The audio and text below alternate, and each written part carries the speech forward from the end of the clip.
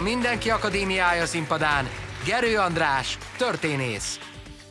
Személyes életem úgy alakult, egyetemista koromtól fogva, hogy bizonyos értelemben összefonódott a 19. századdal, az osztrák-magyar monarchiával, és nagyjából ez mostanáig így is maradt. Tulajdonképpen én nagyon szeretem az osztrák-magyar monarchiát, de ez nem kell, hogy elvakítson a tekintetben, hogy kritikusan viszonyuljak hozzá.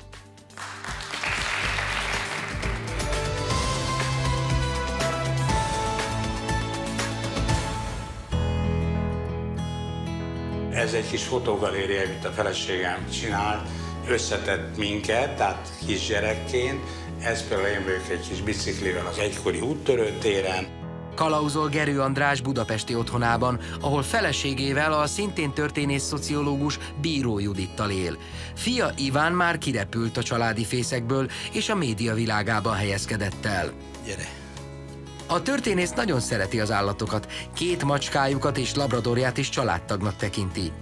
Kutyáit egyébként egykori szovjet űrhajós kutyákról nevezi el, így kapta Lisa is a nevét, amely oroszul rókát jelent. Andy Warhol örökérvényű alkotása, amit a Rolling Stones használ a saját logójaként, itt van a fiúk aláírása, imádom. A Széchenyi Díjas történész dolgozószobájában családja története is megelevenedik, felmenői, közöttük dédszülei évszázados fotóin. Gerő András örömmel emlékszik vissza gyerekkorára, amelyet Budapesten az 50-es évek Ferencvárosában töltött. Kispolgári családban nőtt fel, és már nagyon korán magukkal ragadták a könyvek. Ami nem azt jelenti, hogy ne lettem volna a rossz gyerek, hát egy ilyen Ferencvárosi közegben nem is lehetett volna másként megélni, de az olvasás az, az, az mindig kiemelt jelentőségű volt számomra. Nagyon szerettem a történelmi regényeket, tehát minden olyat szerettem, amiben történet van ahogy édesapjának köszönhetően az orosz nyelvet is. A Kölcsei Ferenc gimnázium diákjaként például Csehovot olvasott eredetiben. Bár felvételi nélkül jutott be az Ötvös Lorán Tudományegyetem orosz szakára, végül történelemből és szociológiából diplomázott. A történelem szóban benne van valamilyen formában a történet, és én úgy gondolom, hogy történelem eh, nincs történet nélkül. Vallja Gerő András, akit mindig a múltbéli történetek és az emberi sorsok érdekeltek. Valahogy ez genetikusan szerintem belénk van kódolva, még azoknál is, akik látszólag az anyagi világ iránt érdeklődnek, azok mögött is ott van az a pont, hogy az ember érdekli őket, ha más nem önmaguk. Mert azért én alapvetően egy individualista vagyok, tehát ha én magam érdeklem önmagamat, ebből az következik, hogy a más ember is érdekel. Gerő András egyik professzora Szabad György hatására mélyedt el az osztrák-magyar monarchia időszakának vizsgálatában. Választásában azonban az is motiválta, hogy erre a korszakra, ahogy fogalmaz, akkoriban nem vonatkoztak a cenzurális szabályok. Így szabadon kutathatta azt, ami a legjobban foglalkoztatta, a modernitás kialakulását és problémáit. A magyarországi zsidóság története a monarchia korában valójában azért kezdett el érdekelni, mert két dolgot láttam egyszerre.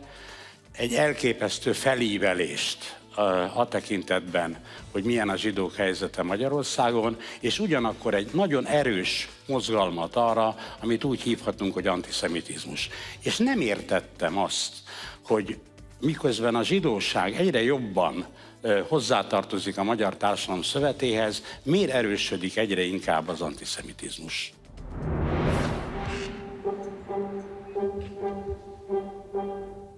meghatározott kor után nem is engedte magát fényképezni. Tehát ezek mind azért becses dolgok, mert valami vizuális benyomást kapunk abból az időszakból is, amikor már fotó nem készült róla. Hangsúlyozza Gerő András Erzsébet királyné felbecsülhetetlen értékű úgynevezett ruhadereka kapcsán, amelyet a Magyar Nemzeti Múzeum történeti tárában a textilgyűjteményben őriznek. A történész mindenben a megfoghatatlant, a spiritualitást keresi, amely szerinte a monarchia korát különösen áthatja. Én nem vagyok egy istenhívő ember, de hiszek a spiritualitásban. És ezért szeretek az adott időszakkal összefüggő szép irodalmat olvasni, tehát mindig a szaga tetszik inkább valaminek. Ez olyan, mint az étel, attól kezdek el vágyakozni rá, hogy látom, és is érzékelem, vagy érzem, hogy milyen illatokat bocsát ki. Történész 1995-től 2017-ig az ELTE gazdaság és társadalom történeti tanszékét vezette, és vendégprofesszorként tanított az Utrechti, az Amsterdami, valamint a Pennsylvania és a Columbia Egyetemen. És nagy szerencsém volt, mert Habsburg Otto elvállalta a kuratóriumi elnökséget, és innentől egy nagyon, nagyon szoros és szerintem nagyon jó viszonyom lett Habsburg Ottoval, aki egy örök élmény számomra ez a viszony vele, meg azok a diskurzusok, amiket mi ott folytattunk. Eleveníti fel a professzor a Habsburg Történeti Intézettel kapcsolatban, amely 2003-ban az ő kezdeményezésére jött létre, és amelynek azóta is az igazgatója. Kiemelkedő szakmai tevékenységéért 2017-ben a Habsburg Lotaringiai Ház Európai Szentgyörgy lovagrendjének tiszteletbeli lovagjává avatták. Gerő András a Magyar Tudományos Akadémia doktora. 40-nél több kötetet publikált az osztrák-magyar monarchia történetének különböző fejezeteiről. Ezek közül 12 angolul is megjelent. Kutatási területeit a polgárosodás folyamatának vizsgálata kapcsolja össze. És én úgy gondolom, hogy a magyar polgárosodás menete nem írható le a zsidóság részvétele nélkül. Ez egy hátrányos helyzet volt ezeknek az embereknek, hogy nem lehetett földjük, nem tölthettek bizonyos pozíciókat a társadalomba, mert hogy jogfosztottak voltak. Ez később előnyé vált, amiből rengeteg problémája lett ennek a csoportnak. A színpadon Gerő András történész, és témája Zsidóság a monarchia Magyarországán. Én azzal kezdeném, amit talán ö, egy evidens kérdésnek tűnik, de mégsem teljesen magától értetődő, hogy ki a zsidó, ki tekinthető zsidónak. Ez azért érdemes föltenni ezt a kérdést, mert ez az a korszak, amikor ennek a szónak a jelentés tartalma változik. A 19. századi Magyarországon, beleértve a monarchia korát is, a zsidóságot vallásnak tekintették. A magyar állam is így tartotta számon 1867 után a, a zsidókat, de kétségtelen igaz az, hogy ahogy mentünk előre az időben, a 19. század második felében már több értelem, vagy több jelentés bontakozott ki. Egyfelől a zsidók önmagukat is kezdték úgymond népnek tekinteni, adott esetben nemzetnek, erre még rá fogok térni, illetve a 19. század közepétől elindult Franciaországból egy olyan fajta szellemi irányzat, a fajelmélet, amelyik fai alapon sorolta be az embereket, és kezdték a zsidóságot azok, akik így akartak gondolkozni, fajnak tekinteni. Minden esetre az a világ, amiben ez a kor államilag megfogalmazta magát, még egyszer vallásnak tekintette a zsidóságot, tehát nem nemzetnek, nem fajnak, nem népnek, noha, mondom, a fogalom a későbbiekben szétbomlott. A következő kérdés, amit fel kell tenni, hogy hányan voltak azok Magyarországon, akiket az állam zsidónak tekintett. 1869-től vannak megbízható népszámlálások Magyarországon, és ha megnézzük ezt a korszakot, ugye, ami 1867-től a kiegyezéstől lényegében az első világháborúig terjed, akkor azt lehet mondani, hogy Magyarországon a zsidóság 1869-ben a lakosság 4,6%-át tette ki, 1910-ben, az volt az utolsó népszámlálás a korszakban, 5 százalékot. Sok vagy kevés, mindenki úgy ítéli meg, ahogy akarja. Ez 5 százalék egyébként, még egyszer a történelmi Magyarországról beszélek, tehát jóval nagyobb lakosságszámú országról van szó, mint ma, meg a területe is persze nagyobb volt. Ez 5 százalék, ez annyit, körülbelül egy millió embert jelentett. Ha megnézi az ember település szerkezet mentén, akkor azt lehet látni, hogy nőtt a városokban élő zsidók száma, tehát míg 1869-ben a zsidóknak kb. csak 30%-a ért városba, 1910-ben ez már 51% volt. Voltak olyan városok, döntően Észak-Kelet-Magyarországon, ahol szinte, szinte a lakosság 40 százalékát, egyharmadát a zsidóság tette ki a városokban, ilyen volt Munkács, ezek ma már nem magyar városok, ilyen volt Máramaros-sziget, ilyen volt Szatmár-Németi, de Budapesten is, az ország fővárosában a, a számok szerint 23 százalék volt a zsidóság aránya a századforduló követően. Tehát jószerűen azt lehet mondani, hogy Budapest lakosságának nagyjából egy negyede volt zsidó. Hozzátenném még azt, hogy egy közkeletű hát hitet eloszlassak, pontosabban szóval a kiegyezés után már nem volt komolyabb zsidó bevándorlás Magyarországban, pont ellenkezőleg éppen azért, mert a századfordulót követően elindult a kivándorlás Magyarországról, egy csomóan elmentek Amerikába, ami annyit jelent, hogy egy kivándorlási töblete volt a zsidóságnak, már Magyarországról, és nem volt igazából bevándorlás. Persze akkor megkérdezhetik, akkor hogy, hogy van az, hogy mégiscsak 4,6%-ról 5%-ra nőtt az arányuk. Ez részben annak tudható be, hogy különösen azoknál a zsidó családoknál, akik nagyon mélyen vallásosak voltak, ugye gyakorlatilag fogamzásgátlás nem létezett, úgy egyébként, mint a nagyon hívő keresztényeknél is, és ezért egy nagyfokú népszaporulat állt elő. A következő kérdés, amit azért föl kell tenni, hogy hát mivel foglalkoztak ezek az emberek? Na most itt is rengeteg féle elgondolás van, rengeteg úgymond előítélet és sztereotípia párosul a, a zsidókhoz. Főként ezek a zsidók úgymond kis egzisztenciák voltak. Tehát kiskereskedők, ma azt mondanánk, hogy kisvállalkozók, kocsmárosok, szatócsüzletük volt, különösen vidéken. Ha arányszámban nézem ezt, akkor azt lehet mondani, hogy körülbelül a zsidóságnak majd 60%-a volt ilyen kis egzisztencia, vagy alkalmazott volt egyszerűen valahol. Talán meglepőnek tűnik, de a, a zsidók jelentős része besimult a szakmunkás létbe, tehát a magyarországi zsidóságnak körülbelül egy harmada szakmunkás volt. És ezen kívül pedig nagyon magas volt az értelmiségi foglalkozást űzők aránya, most egy kicsit fordítva mondanám, úgy mondanám, hogy például, és azért nézek bele a papírjaimba, hogy nem akarom magukat félrevezetni a számok tekintetében, például a nyomdászoknak majd 60%-a volt zsidó, az orvosoknak Magyarországon majd a fele volt zsidó, a kocsmárosoknak több mint 40%-a volt zsidó, tehát ilyen, tehát voltak értelmiségi foglalkozásban erősen jelen, illetve ezekben a kisvállalkozói szérákban. Amiből egy csomó hát előítélet fakadt aztán, hogy a magyar nagypolgárságban is képviseltették magukat. A magyar zsidóság tekintetében körülbelül 3 uk tartozott oda, amit mi aztán tényleg nagypolgárságnak hívunk, ami annyit jelent, hogy ezek vagy gyárosok voltak, vagy százholdon felüli birtokuk volt, de voltak olyanok is, körülbelül ugyanilyen arányban 3-3,2%-ban, akiknek százholdon aluli birtokuk volt.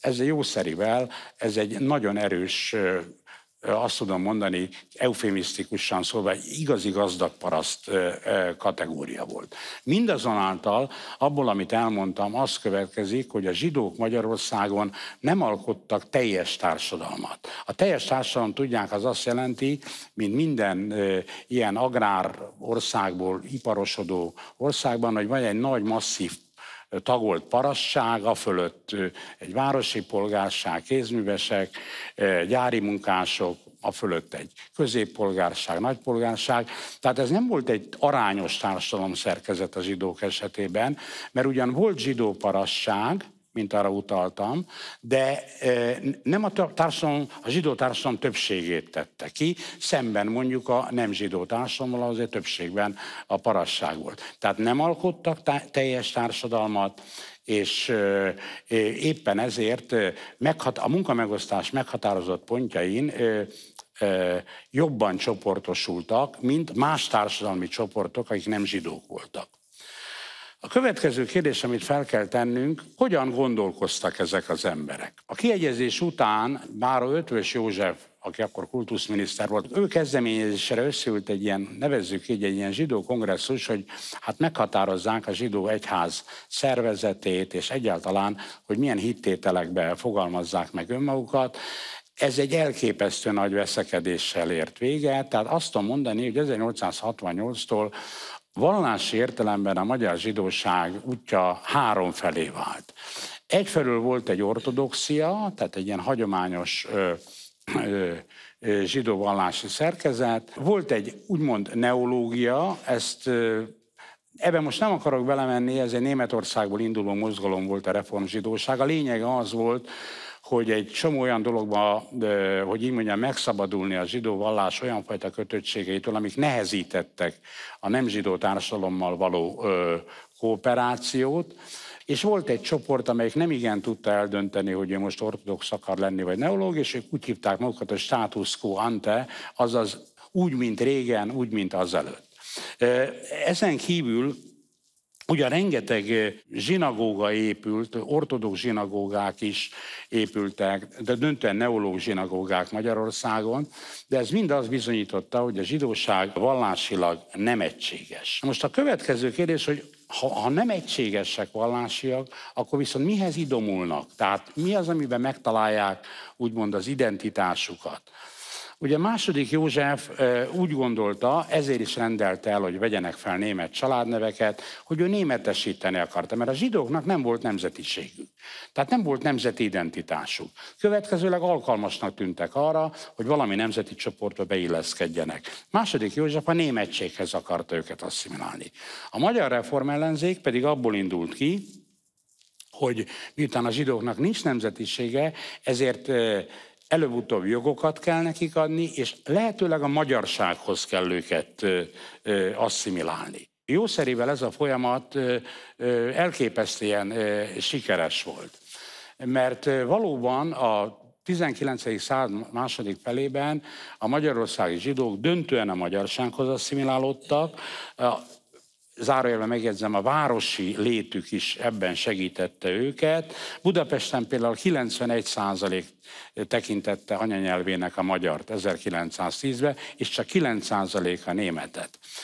De voltak olyan területek is, döntően, ahol az ortodoxok voltak többségben, ahol kevésbé volt jellemző ez az asszimilációs szándék, mert Máramarosban például csak 18% tekintette anyanyelvének a magyart, és 82% továbbra is a németet vagy a jiddis tekintette saját nyelvének.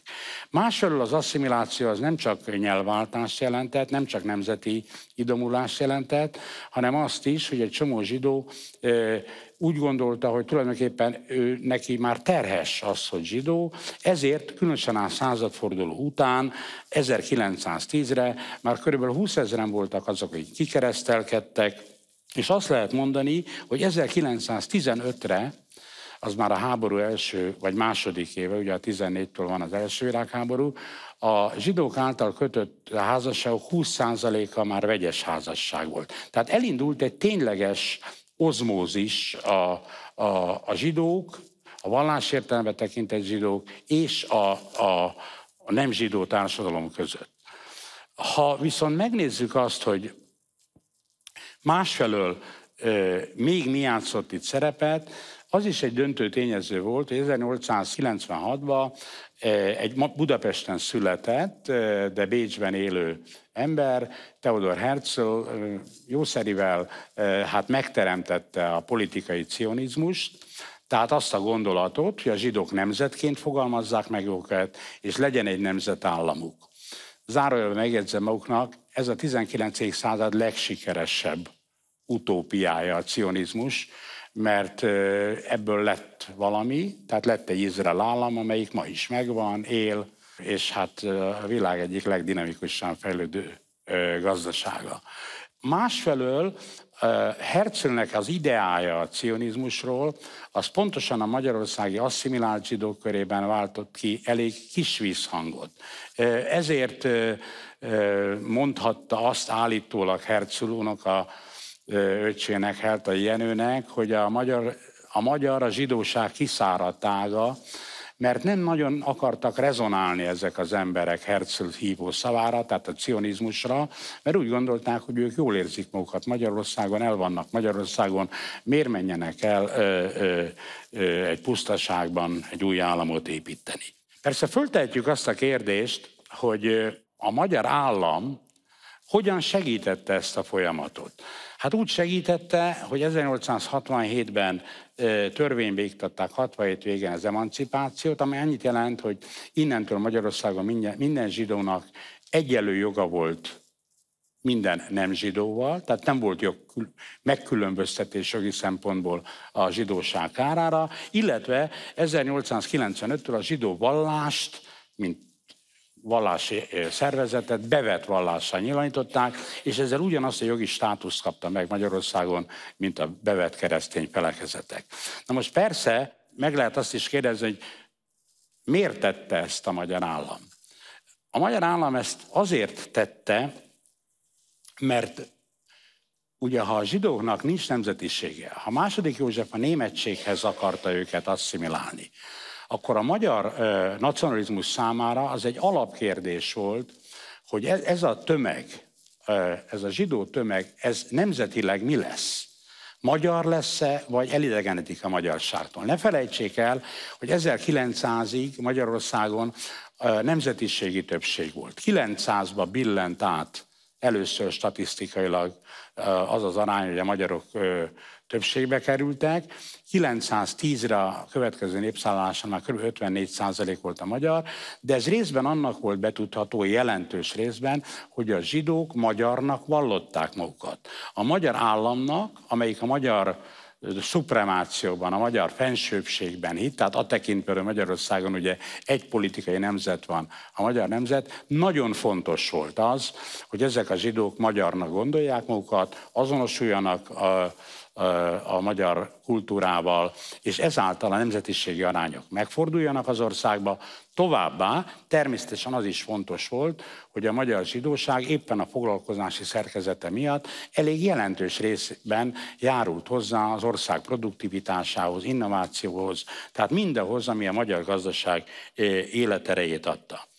Na most innentől persze azt lehet mondani, hogy ha mindezeket végignéztük, akkor azt lehet mondani, hogy hát jószerivel e, itt az asszimiláció volt a döntő folyamat ebben a fél évszázadban, e, és míg a 19. század első felében a judaizmuson kívül tehát a zsidó valláson kívül nem éltek zsidók, addigra a 20. század elejére ez a helyzet megváltozott.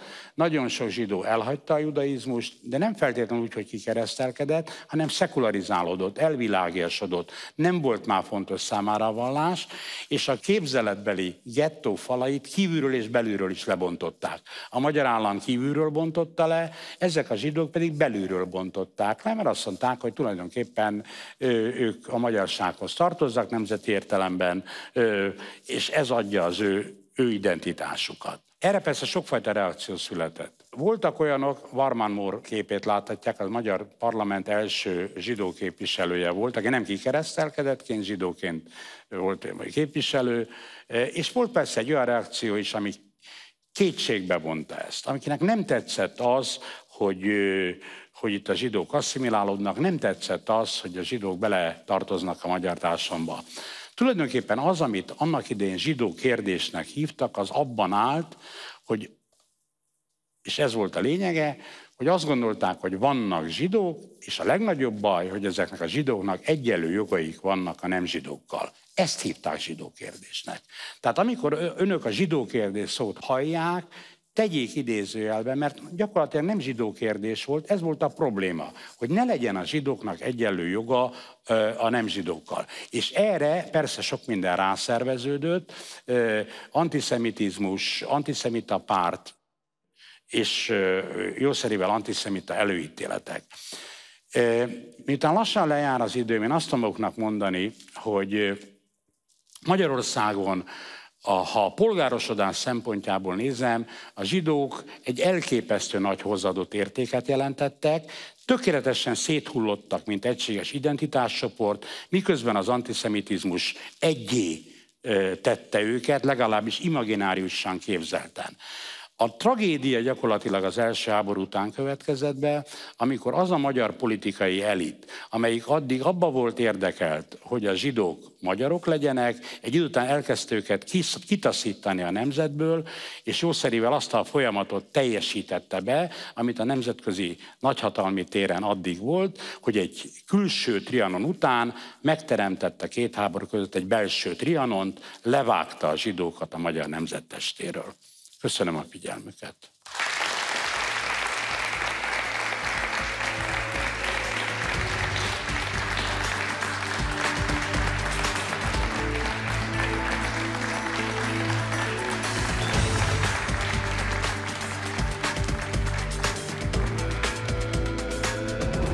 A Mindenki Akadémiája ön előtt is nyitva áll.